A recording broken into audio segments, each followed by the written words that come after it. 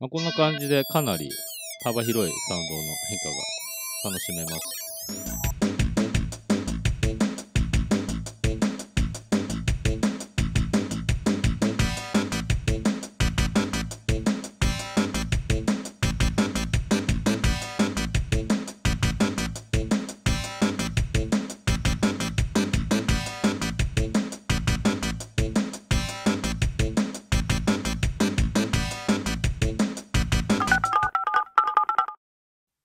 回は SONICWARE LIVEN MEGA SYNTHESIS の FM エディットの解説をします。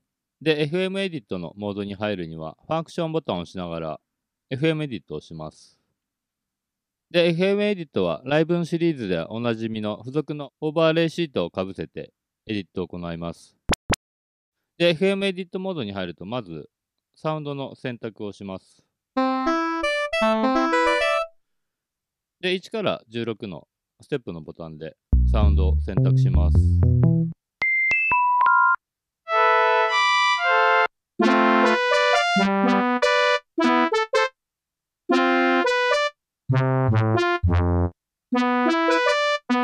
で、バリューのこのダイヤルでも変更が可能です。で、バンクのつまみでバンクを変えます。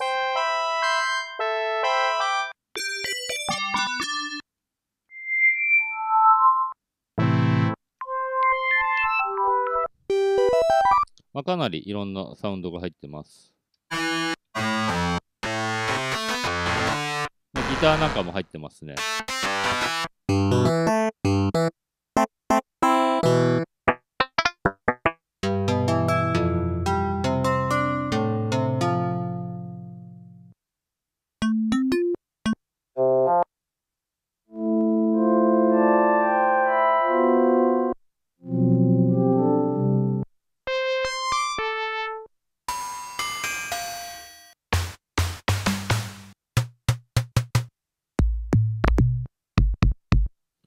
ドラムも結構いい感じのサウンドが入ってます。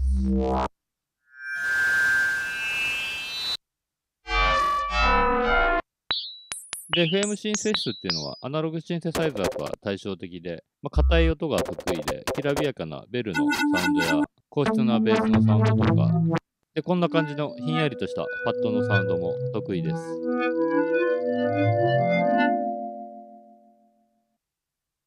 じゃあサウンドが決まったら OK をしてエディットします。で、FM シンセスはオペレーター同士を変調させるシンセスで、オペレーターはシンセサイザーにおけるオシレーターにあたります。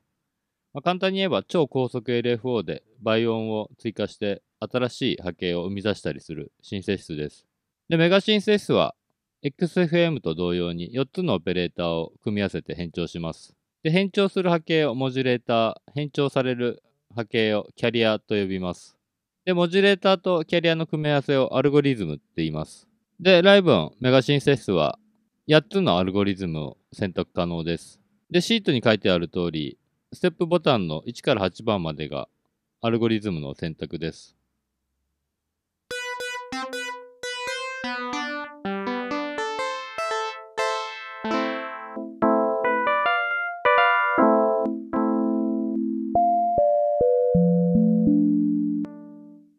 同じオペレーターの設定でも、アルゴリズム変えるだけで全然サウンドが変わったりします。で、アルゴリズム1から4は、オペレーター4がキャリア波形で、他のオペレーターがモジュレーターです。で、アルゴリズム5から7は、オペレーター2、3、4がそれぞれキャリアになったりして、で、アルゴリズム8は、すべてのオペレーターがキャリア波形になります。で、オペレーターのエディットは、1234のボタンを押して行います。で、エディットボタンを押しながら押すと、オペレーターのオンオフが可能です。で、5と6のボタンで、オクターブの設定をします。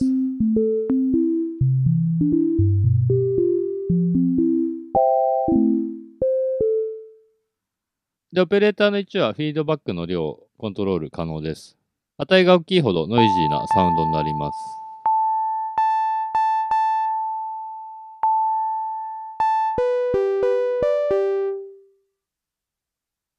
サイン波からノコギリ波になるみたいなイメージですね。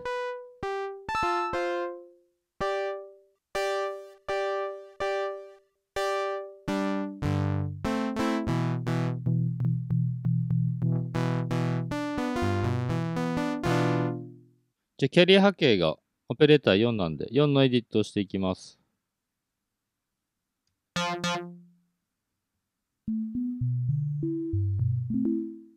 で、まずレベルでオペレーターの音量をコントロールします。で、マルチプリイヤー、フリークエンシーでオペレーターの周波数、ピッチを設定します。で、ディチューンでディチューンをコントロールします。3段階ですね。で、SSGEG は後でエンベロープの時にやります。で、フィックスドで周波数、ピッチを固定します。どのキーを押してもピッチが一緒になります。で、ファインでファインチューンのコントロールをします。で、アンプ LFO は全体で共通なんですけど、オペレーターごとにオンオフの設定が可能です。で、レイトスケーリングは値が大きいほど低いノートのエンベロープのタイムが長く、高いノートほどエンベロープのタイムが短くなります。で、ベロセンシティビティで値が大きいほど、ベロシティがオペレーターのレベルに反映されるようになります。で、ベロセンシティビティのボタンで10飛ばしで設定が可能です。で、アンプ LFO はアンプを音量を揺らす効果ですね。で、デートでスピード、センシティビティでレベルですね。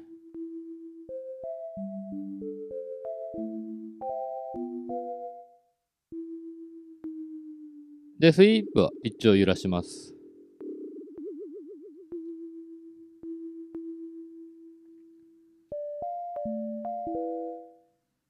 では、エンベロープの解説をします。で、エンベロープは、アタック、ディケイ、サスティーン、サスティーンレート、リリースレート、ADSSR っていうタイプのエンベロープです。で、アタックで音が立ち上がるまでの時間をコントロールします。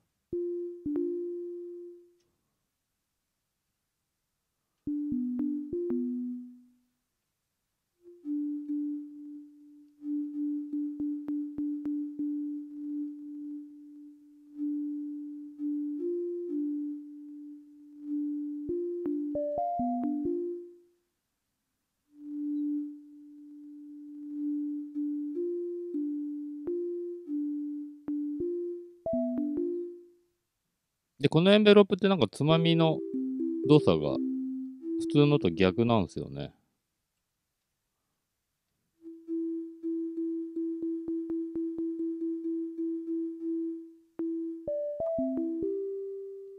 で、ディケイドとの減衰。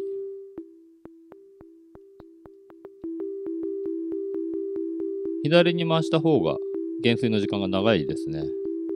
で、サスティンレベル。で、サステインレート。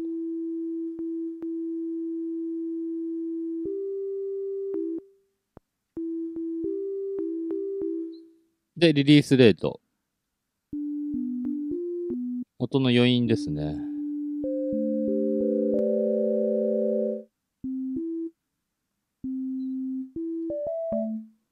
では、SSG-EG を使っていきます。で、SSG-EG っていうのは、エンベロープをリピート反転、ホールドすることで、複雑な LFO のように使用できる特殊なエンベロープです。で通常はオフになってるんですけど、この SSG のボタンを押すたびに切り替わります。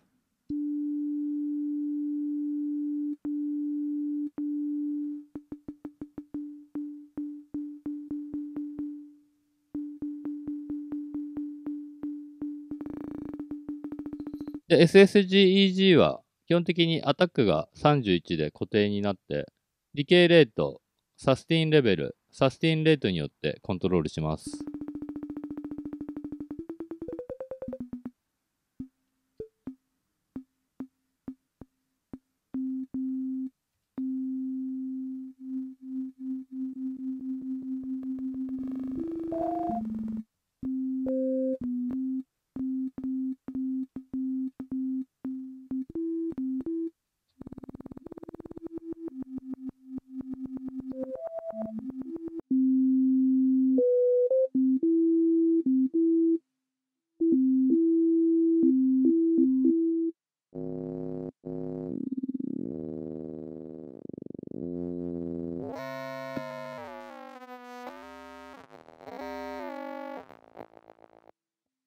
まあ、オペレーターの基本的なエディットはこんな感じですね。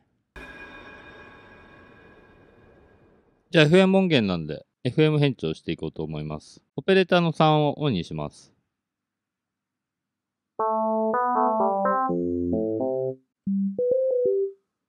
もうこれだけだと変わりましたよね。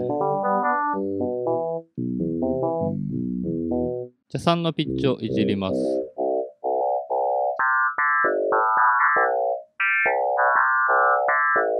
で、フィックスと押してみます。金属的なサウンドになりました。じゃあ SSGEG 使っていきます。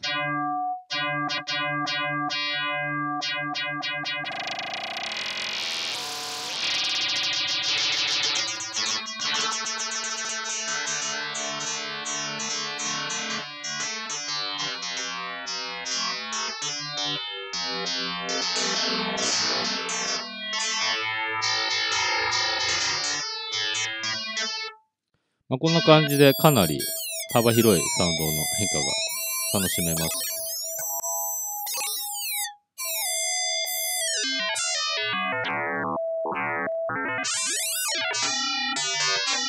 じゃあ他のオペレーターもオンにしていきます。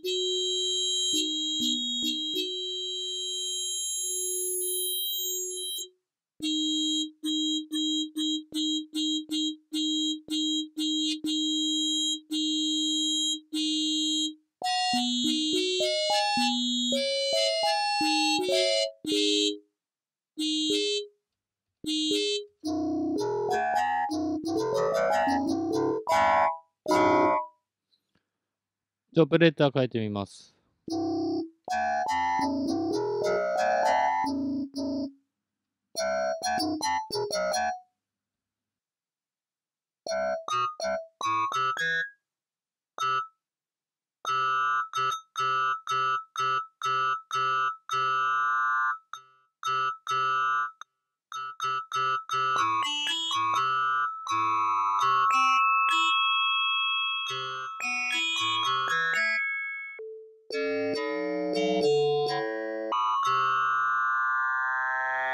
キラキラした音とか、ノイジーなサウンド得意ですぐ作れるんですけど、まあ、FM 音源って狙った後作るのってちょっと難しい印象があるんですけど、メガシンセスはたくさんのプリセット入ってるんで、まあそれを開きながら研究とかしてみるのもいいと思います。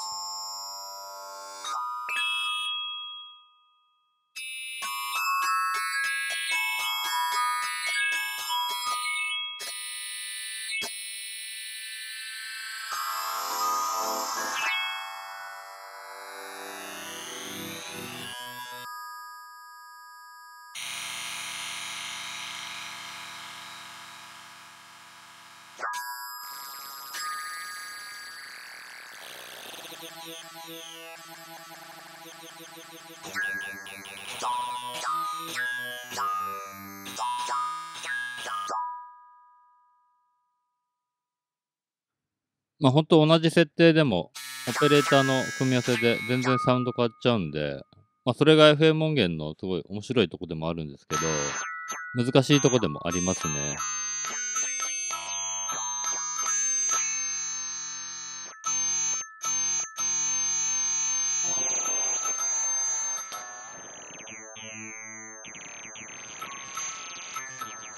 まあ個人的にはこの SSG EG は気に入りましたね。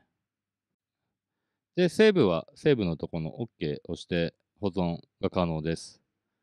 で、FM エディットモードを抜けるには、一回クリアをしてサウンド選択画面になって、で、もう一回押すと通常のモードに戻ります。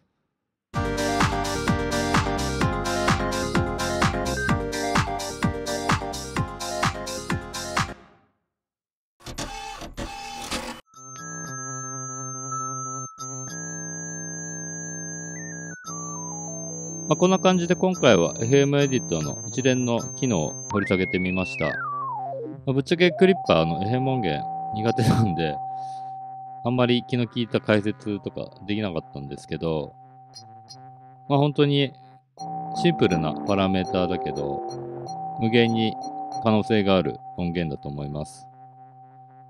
で、慣れないうちは FM 音源は2つのオペレーターで音作りしてみるといいと思います。